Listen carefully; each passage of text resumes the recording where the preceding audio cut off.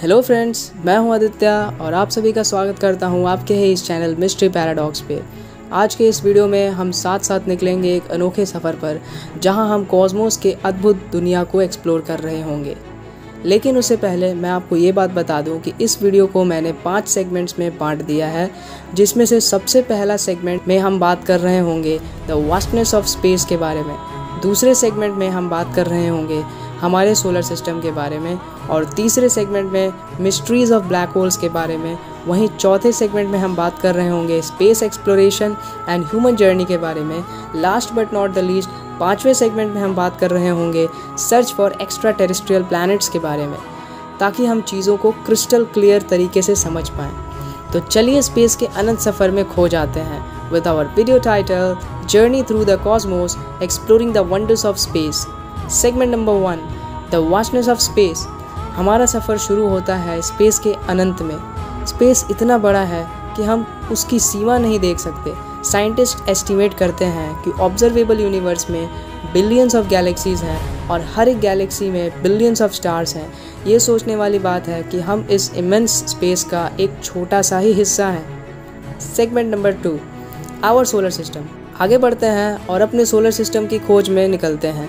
हमारे solar system में कुल आठ प्लैनेट्स हैं, जिनके चारों तरफ़ हज़ारों छोटे बड़े एस्टेरॉयड्स और कॉमेट्स घूमते रहते हैं। हर एक प्लैनेट अपने यूनिक तरीके से चमकता है, जैसे कि Mercury Venus Earth Mars Jupiter Saturn Uranus और Neptune segment number three mysteries of black holes space में घूमते हुए हम कुछ अनोखे मिस्ट्रीज से भी रूबरू होते हैं, जैसे कि ब्लैक होल्स ब्लैक होल्स इतने स्ट्रॉन्ग ग्रेविटेशनल फोर्स के साथ होते हैं कि लाइट भी उनसे स्केप नहीं कर पाती।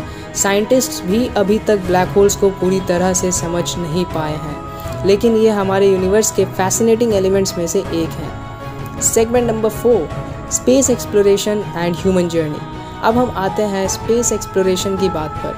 ह्यूमन हिस्ट्री में स्पेस एक्सप्लोरेशन हमारे लिए एक खास सफ़र रहा है। हमने मून पर कदम रखा।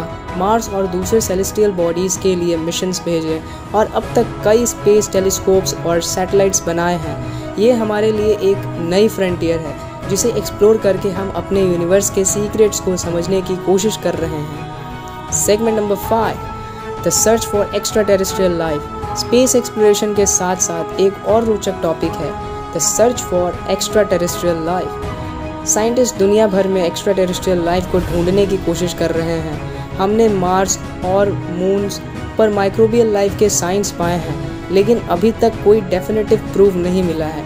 क्या हम एक दिन दूसरी दुनिया पर लाइफ के साथ कनेक्ट हो पाएँगे? ये एक थ्रिलिंग क्वेश्चन है, जिसका जवाब हमें फ्यूचर में मिल सकता है। तब तक के लिए अपने सपनों के साथ हो जाए स्पेस की आकाश में